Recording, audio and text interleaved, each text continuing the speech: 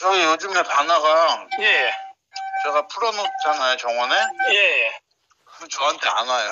아, 이게 이제 저한테 오면은 자꾸 묶인다는 걸, 묶어버리니까, 예, 예. 묶인다는 걸 이제 알았나 봐요. 예. 저한테 안 오고 막 쫓아가면 도망가고.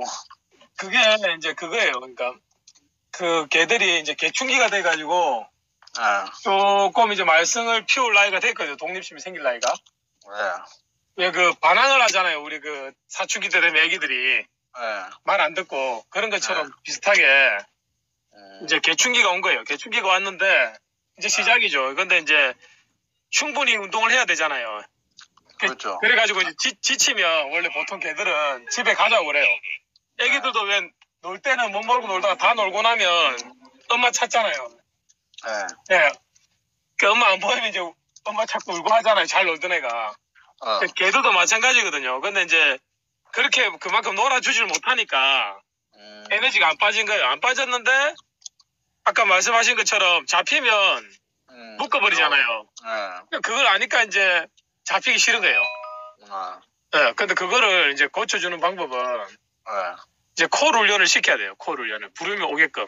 예. 부르게 와, 부르면 와야 되는데 얘는 안 와요. 지금 불러도 안 와. 당연히 안 와요. 왜냐하면 묶어버린다는 것도 알고 개충기도 이제 시작하고 예, 충분한 운동도 안 시켜주고 공간은 넓고 에너지는 넘치는데 예, 예, 그러니까 당연히 안 오거든요.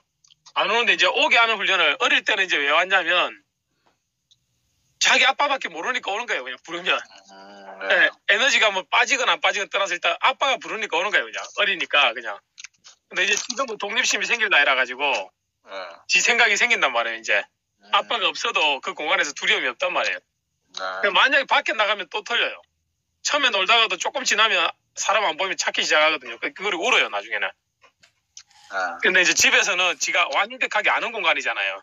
네. 그 정원도 원체 넓다 보니까 그러니까요. 아, 이제 처음에는 저만 졸졸 쫓아다녔어요. 네, 어딜 그래요. 가든 저만 졸- 졸졸 쫓아다녔는데 요즘에는 아예 저희 근처를 안 와요. 그러니까 묶어버릴까봐. 예. 그러니까 지금 이제 콜 훈련을 이제 시작을 해야 돼요. 음, 그 이제- 콜 훈련은 어떻게 해야 되나요? 이제 여러 가지 방법이 있는데 아, 이제 가장 부드러운 방법은 이제 그냥 먹이를 주면서 유인하는 거 있잖아요. 음, 예, 간식 줘가지고 불러가지고 예, 아, 불렀을 때 오면은 간식 주고. 예, 주고 이런 게 좀 이제 성질이 나더라도 예, 그런 식으로 아, 그리고 교육을 시켜야죠. 그때 꼭 불러가지고 이제 그냥 이리 와 이리에 불러가지고 오면은 먹을 거 주고 칭찬해주고 아니면 그렇게 하고 앉아까지 손까지 시키고 먹을 거 주고 줘도 되고 이렇게 변화를 주면서 예. 네, 처음에는- 그렇게 처음에는- 해서 간식을 주고 바로 묶으면 안 돼요? 예, 안 돼요. 아, 처음에는 어, 처음에는 이제 불러서 쳐다만 봐도 네. 예, 잘했다고 아, 칭찬하고. 쳐다만 봐도. 예, 칭찬하고 간식을 주고 예. 예. 그러니까 자유급식을 하면은 그게 흥미가 좀 떨어질 수 있잖아요. 어, 근데 자유급식을 안 하니까 아마 간식 먹으러 올 거예요. 그리고 간식을 먹는다는 게 나쁜 의미가 아니고 좋은 의미로 줘요. 간식을 주면 걔들은 다 좋아하지만 네. 또잘 먹는 거 주면 더 좋아하잖아요. 네. 예, 그렇지만 그 자체도 좋은 거라는 걸 인식시켜주면 더 좋아요. 음, 간식 먹는 그 자체도 칭찬거리라는 거 있잖아요. 네. 그런 식으로 기분 좋게 주면 더 훈련이 잘 돼요. 그리고 또 뭐 충격요법도 있습니다. 아, 충격요법. 전기 충격기 예, 쓰고. 예, 근데 그 전기 충격기를 쓴다는 것도 이제 충격기로 써야 훈련기로 써야 되는데 가장 중요한 게 뭐냐면 그걸 써버린다고 해서 오질 않아요. 놀라니까 더 도망가고 더 끙끙거리고 짖고 더 흥분하잖아요. 예. 그래서 그걸 한다고 해서 오는 게 아니거든요. 음, 그 이제 도구로서 활용을 할 수 있는 거죠, 그러니까. 음, 좀 줄을 길게 묶어진 상태에서 충격을 한번 주면 놀랄 거 아니에요. 네. 그때 좀 사람도 긴장한 느낌으로 와, 이리 와 부르면 오잖아요. 놀래가지고 줄을 당기면서 부르면. 네. 그때 칭찬해 주는 거예요. 어, 옳지, 옳지, 괜찮다, 괜찮다, 이렇게. 막 옳지, 옳지도 막 옳지, 옳지 이라는 게 아니고 아, 어, 괜찮아, 괜찮아 다독거리 주듯이.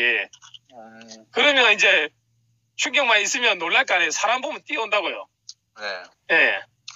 그때도 이제 명령어를 더 띄피면 더 좋죠. 이제 이렇게. 일이 불러가지고, 예, 딱 이제 충격을 주고 끈으로 당기면 그 다음에는, 아, 일이 명령이 안, 했는데 안 오면 충격이 오더라. 음, 다음에는 칭찬을 해주도 이걸 알잖아요.